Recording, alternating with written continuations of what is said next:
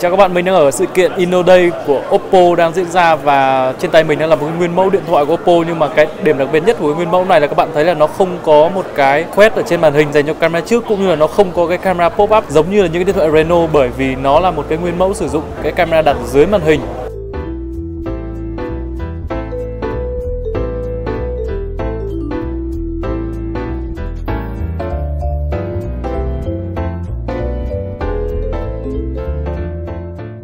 Như các bạn sẽ thấy khi mà các bạn nhìn kỹ vào cái phần chính giữa ở phía trên màn hình các bạn sẽ thấy là một cái vết nhỏ nó như kiểu là một vết mờ. Phần này thì đó chính là cái vị trí của camera và hiện tại thì cái camera trước này nó vẫn đang ở trong giai đoạn phát triển chứ chưa chưa phải là phiên bản mà sẽ được thương mại hóa. À, các bạn có thể thấy ở trong hình đó là cái vết hiện tại thì cái vết của cái camera trước nó khá là rõ nó là một cái phần hình vuông và những cái pixel ở trên đó thì có vẻ như nó không được mịn và nó mà nó thô hơn những cái phần còn lại, cho nên chúng ta nhìn sẽ thấy bằng mắt thường. Nó sẽ không ảnh hưởng nhiều đến trải nghiệm chúng ta bởi vì nó khá là mờ, chứ nó không rõ. Còn nếu mà nó chuyển thành những cái phần màu đen như này, chúng ta sẽ không nhìn thấy. Ok, bây giờ thì mình sẽ cho các bạn thấy là cái hiệu năng của camera trước của nó nha. Đây bây giờ mình chuyển về camera trước thì các bạn thấy là về cơ bản thì mình thấy cái màu sắc của cái camera trước nó chưa được bão hòa tốt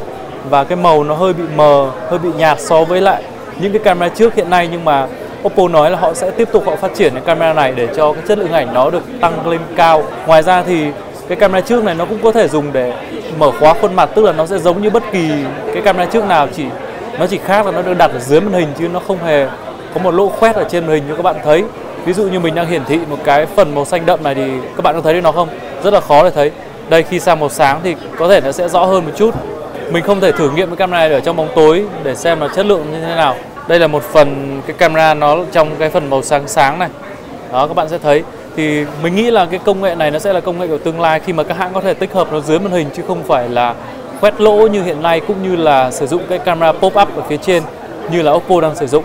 Nhưng mà chắc chắn nó sẽ mất khoảng độ vài tháng hoặc là ít nhất là một năm nữa thì cái công nghệ này nó mới sẵn sàng và nó được thương mại hóa trên những cái sản phẩm như là của Oppo. Cảm ơn các bạn.